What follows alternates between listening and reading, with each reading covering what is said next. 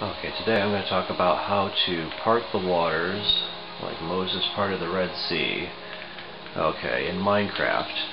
So here we are, looking down, and I have the night vision on so you can see through the water.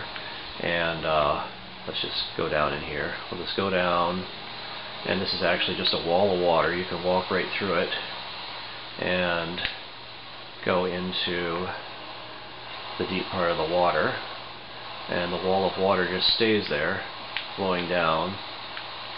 And you can walk right across if you want right up to the other side. And uh, it's uh, just the way the physics in Minecraft works. So if you do this properly you have to do it just right. And you can uh, create a wall of water it has nothing behind it. Okay, so I'll show you how to do that in a second.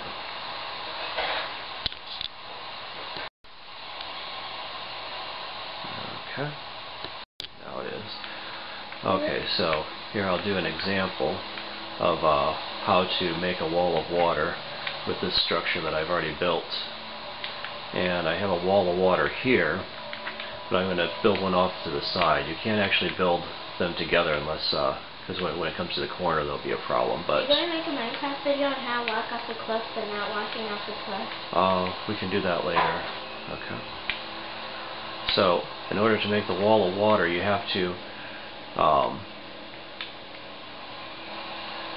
come in, like I showed in my vortex video, water vortex videos, you have to fill the whole area up with uh, blocks. I'm just using glass because it looks nicer. Honestly, you stay home to fix the cars. Okay. And uh, so you have to fill the whole area up where there was water. You have to fill it up with uh, some blocks, not sand or gravel because they fall in, but something that's not sand or gravel, and then you remove the blocks in the middle.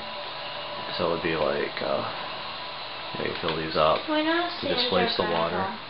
Because sand or gravel will drop. Yeah. Because you want it to drop. You have to have an overhang here. See how it's got one block overhang? Where I'm going to take away the blocks to make the, the wall of water. If it doesn't have that overhang, it will flow into here. Do you do that to make an underwater house? Yes, in fact I've done that. Let's see, you start at the bottom, you have to start at the bottom, you can start taking out the blocks, and you go up, up, up, up, and as long as you keep on going up in order, it will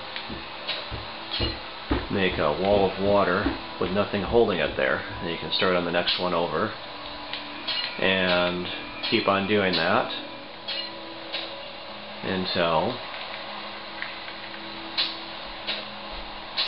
you complete the whole wall. Like I said, uh, there, there's a wall of water here at the end, so where they meet, there will be a problem if you don't have something there. But uh, at the other place, I didn't have that problem because they just went straight across. Now let's do our night vision again. Okay, so we can also use this wall of water to uh, make an underground underground fort. So I built one over here.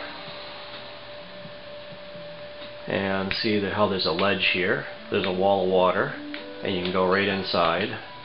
And now you could breathe in here. This is on creative, but if you weren't on creative, you could use this type of door to go in and out of an uh, underwater fortress. And not have to worry about the water coming in. Okay. So anyway, that's how you make the wall of water.